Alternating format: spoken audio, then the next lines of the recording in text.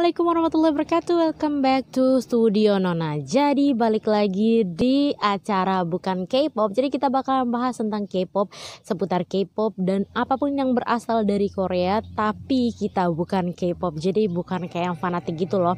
Nah teman-teman sebelum kalian melanjutkan menonton Jangan lupa untuk menekan tombol subscribe, like, dan komen Untuk mendukung channel aku terus berkembang dan terus maju Untuk membahas seputar K-pop dan yang lainnya. Ini kita akan membahas seputar tentang SNSD. Oh, jadi kalau misalnya bahasa Inggrisnya SNSD, eh, SNSD lah gitu. Tapi nih ngomong-ngomong SNSD, ngomong-ngomong nih ya sesuai usia gitu ya. Memang uh, girls eh, grup uh, wanita atau gimana ya?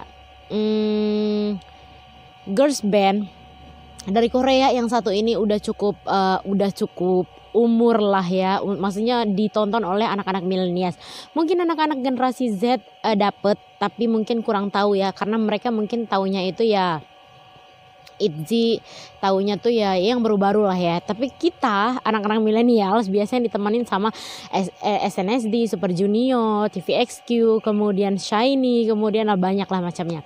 Nah di video kali ini aku bakalan ngebahas nih tentang beberapa hal yang dialami atau beberapa kisah pilu yang dialami oleh SNSD sebelum mereka debut dan akhirnya sukses menjadi salah satu girls eh, menjadi salah satu girls band yang paling populer dan paling sukses di Korea Korea Selatan.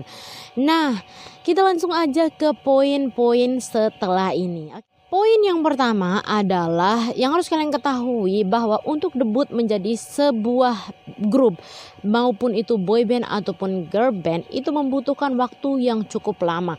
Bahkan ada beberapa ada beberapa girls ada beberapa idol cewek ataupun cowok yang di training atau yang menjadi tren dari dia masih kecil, mungkin dari SD atau bahkan lebih kecil daripada itu gitu.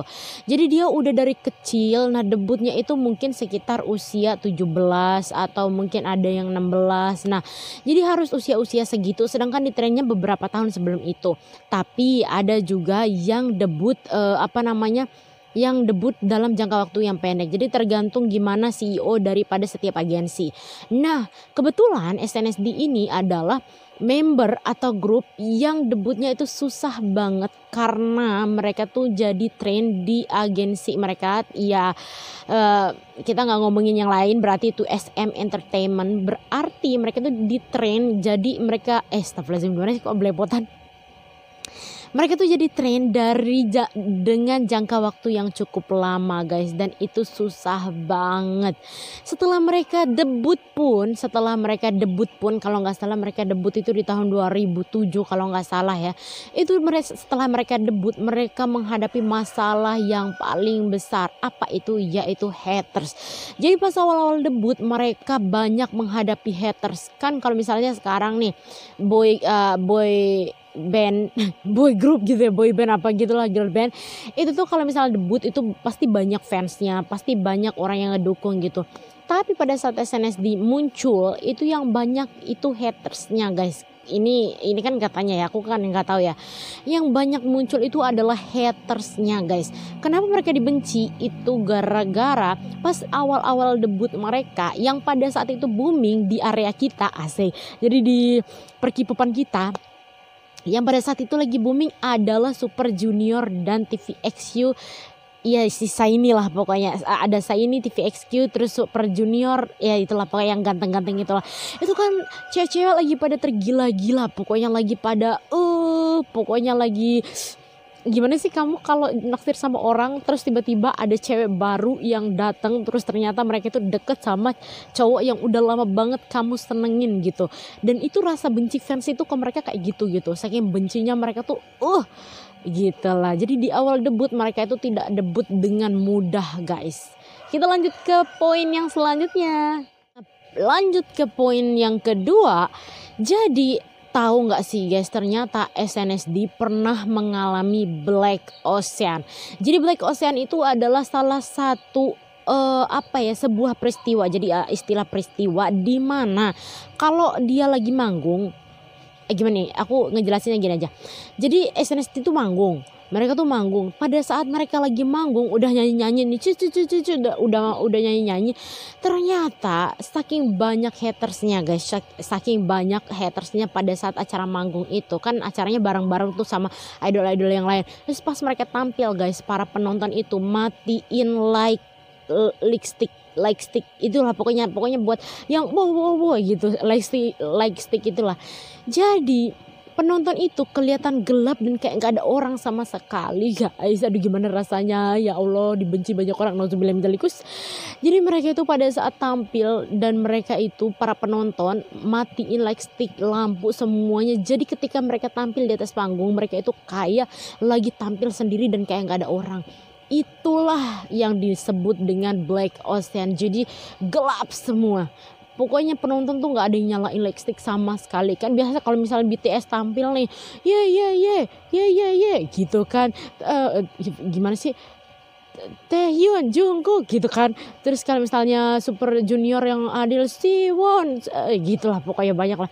Tapi nih, ya ampun, mana mereka itu cantik-cantik lagi. Aduh, gimana rasanya guys? Ya ampun, penonton pada matiin Lexik semua.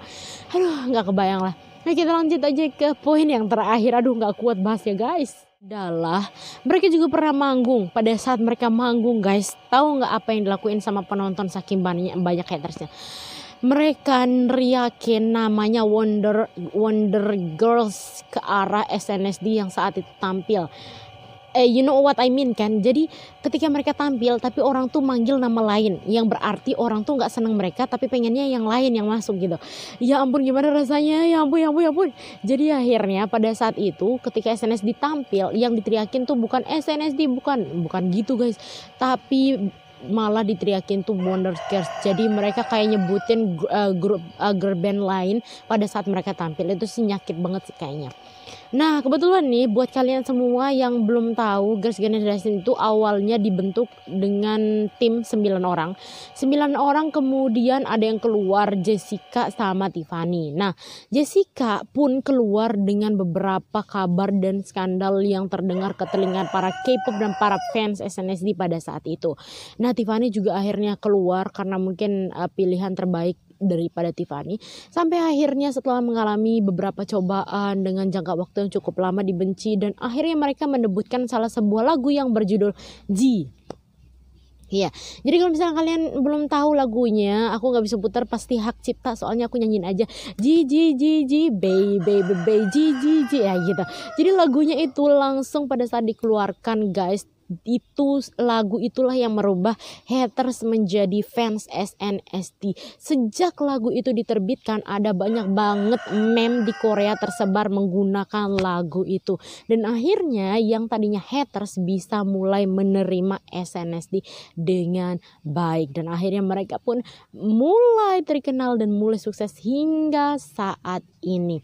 Tapi begitulah idol-idol K-pop itu guys. Jadi masa kesuksesannya itu diambang 7 tahun lah, 7 tahun, 8 tahun setelah itu akan digantikan dengan yang baru. Itulah memang dunia dunia bisnis K-pop tuh memang begitu guys. Jadi kalau misalnya kalian dulu uh, idolanya ada idol apa siapa siapa ternyata umurnya udah masuk 30-an akan ada idol baru yang menggantikan dia. Jadi kalian jangan bersedih hati. Memang begitulah siklus kehidupan. Yang lama tergantikan oleh yang baru. Yang lama, yang tua diganti digantikan oleh yang muda guys.